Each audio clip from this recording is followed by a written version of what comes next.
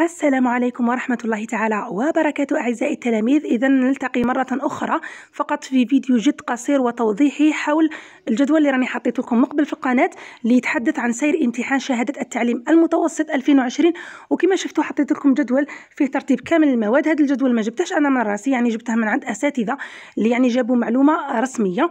والجدول كان يعني السير نتاعو حسب التواريخ اللي قدمتها الوزارة من قبل. إذا الوزارة التربية والتعليم من قبل قدمت تواريخ على أن امتحان شهادة التعليم المتوسط يكون من 13 سبتمبر إلى غاية 15 سبتمبر وشهادة البكالوريا تكون ابتداء من 20 سبتمبر.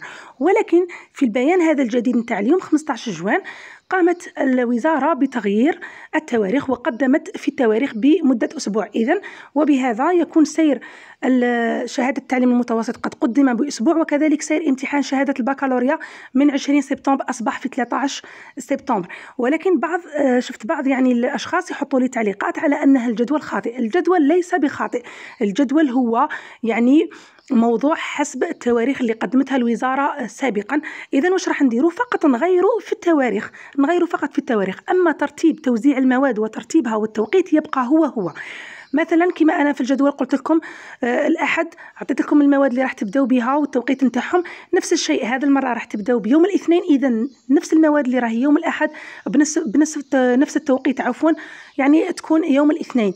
المواد اللي راهي يوم الاثنين بنفس التوقيت تكون يوم الثلاثاء والمواد اللي راهي يوم الثلاثاء بنفس التوقيت تكون يوم الأربعاء يعني توزيع المواد وترتيبها والتوقيت نتاعها يبقى هو هو ولا يتغير ابدا من سنة إلى أخرى يبقى نفس التوقيت ونفس ترتيب وتوزيع المواد. فقط هناك تغيير في التاريخ والتغيير آه، يعني مش إحنا السبب ومش إحنا اللي درناه. التغيير جاء من الوزارة. يعني الوزارة أول مرة صرحت إنه راح يكون أول يوم لإجراء الامتحان.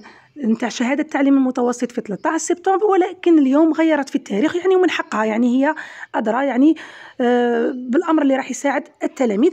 فقط هذا فيديو توضيحي بالنسبة للأشخاص اللي راهم يقولوا أنه الجدول خاطئ الجدول ليس بخاطئ بل وضع حسب آه، التواريخ التي التي قدمتها الوزارة من قبل. فقط تغيروا في التواريخ. كنتوا رايحين تبداو بيوم الأحد راح تبداو بيوم الاثنين. إذا المواد اللي تكون في اليوم الأول هي دائما اللغة العربية علوم فيزيائية. يعني اللي حطيتها لكم يوم اللي حطيتها لكم عفوا يوم الأحد تحطوها يوم الاثنين. يوم الاثنين تحطوها يوم الثلاثاء والمواد اللي راهي يوم الثلاثاء ديروها يوم الأربعاء بنفس التوقيت. ونفس توزيع وترتيب المواد. نتمنى انه هذا الفيديو فاتكم والسلام عليكم ورحمة الله تعالى وبركاته.